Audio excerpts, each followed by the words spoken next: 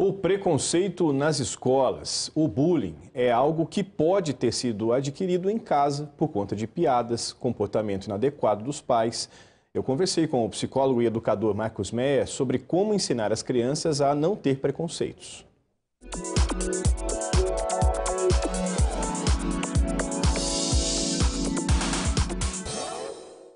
Bom, Marcos, bom dia. Em primeiro dia. lugar, obrigado pela presença mais uma vez. A gente fala desse assunto que é, tem muito a ver com o exemplo, né? Sempre se fala da força do exemplo em várias circunstâncias, mas quando há exemplos de preconceito, de segregação, de alguma maneira dentro de casa, a criança pega isso mais facilmente, não?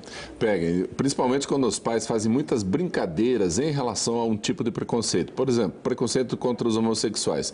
Se os pais fazem piadinhas, as crianças imediatamente aprendem que é, aprendem esse tipo de preconceito e é difícil daí de a gente reverter. Então, o importante é não fazer brincadeiras em relação aos preconceitos, em relação a qualquer tipo de preconceito. Então, os pais podem sim ensinar de forma correta aos seus filhos, desde que é, esse ensinamento seja claro, consciente e tal, e eles próprios tentem mudar os seus comportamentos. Então, é, não adianta, por exemplo, o pai falar, não, todas as pessoas são iguais, mas ele trata de forma diferente o porteiro, o porteiro do prédio, é, simplesmente é, despreza as pessoas mais simples. Esse tipo de exemplo é facilmente captado pelas crianças. E o, e o lado bom, o lado positivo, o exemplo positivo é pouco é, captado, é dificilmente reconhecido pela criança. Então, quando o pai fa faz de forma correta, ele precisa explicar para a criança, ó, oh, filho, o certo é a gente fazer isso por causa desse exemplo, por causa daquele exemplo. Então o pai precisa dar bons exemplos e explicá-los quando for no sentido positivo. E se o pai ou a mãe, de alguma maneira, acabam fazendo uma brincadeira, como você falou, sem perceber, por uma situação, uma circunstância, tem outros adultos perto e a criança está por perto, é, ainda assim é possível tentar explicar a situação? É. é. dá sim e deve ser feito. Então, por exemplo, quando um dos dois, o pai ou a mãe, percebeu que não deveria ter feito a brincadeira, pode corrigir um ao outro na frente da criança, sim, sem problema. Isso não é tirar autoridade, não é humilhar o parceiro, nada disso. Ô, oh, querido, você não devia ter falado isso, oh, coitado daquela pessoa tal. Daí, ah, é verdade, é. E pronto, tá, tá ali. Agora, é, deixar passar simplesmente não é bom, porque a criança capta, eles têm uma capacidade muito grande de perceber o que está acontecendo. O preconceito, por exemplo, nas escolas, é a principal causa eh, do bullying.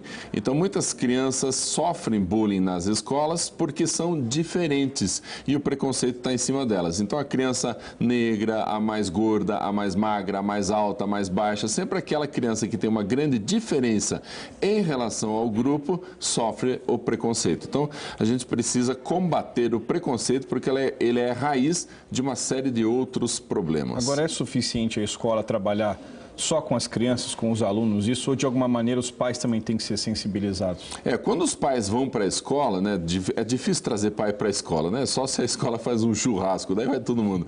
Mas quando os pais vêm para a escola, por exemplo, para uma palestra, nessa palestra dá para a gente dizer: ó, oh, pais, nós estamos ensinando seus filhos a não serem preconceituosos, por isso a gente está fazendo tal atividade, tal trabalho, tal pesquisa. Os pais precisam saber o que está acontecendo, porque quê? Senão a escola faz um trabalho enorme e a criança simplesmente é, é deixada de lado pela família, não sabe o que está acontecendo e aí os pais não colaboram com a atividade que a escola faz. Então tem que explicar aos pais também. Então, assim, é, é, essas diferenças entre as pessoas são captadas como possibilidade de preconceito. E aí, quando, por exemplo, está de terno e gravata, ah, esse é do bem, é. esse não vai assaltar. Não, tem que tomar muito cuidado sim. Então, a gente pode mostrar para as crianças que muitas coisas erradas não dependem de algumas características que são generalizadas. Por exemplo, é, se a gente começa a ver um determinado tipo de pessoa é, cometendo uma atitude errada sempre, a gente já começa a dizer todas as pessoas que são desse tipo cometem essa atitude errada. Não, não é verdade. Isso é uma super generalização ou sobre generalização. Isso também leva ao preconceito. A gente tem que combater o preconceito sempre. As escolas precisam levantar a bandeira anti-preconceito, porque o preconceito ele é falta de conhecimento. Por exemplo, por que, que meu nariz é vermelho? Né? Por que, que o nariz desses alemães aí é tudo vermelho? É, é uma adaptação biológica para que nos países gelados não congele a ponta do nariz, porque tem sangue ali, o sangue esquenta a ponta do nariz, eu não, não vou ter meu nariz congelado. Mas a minha pele é branca. Se minha pele, se eu for em um país é, de muito sol, eu vou ter muito problema com é, possibilidade de câncer de pele. Então, para que isso não aconteça, a pele tem que ser negra. Então, essas adaptações são adaptações biológicas e isso leva à diferença. Agora, o que é o preconceito? É a falta desse conhecimento.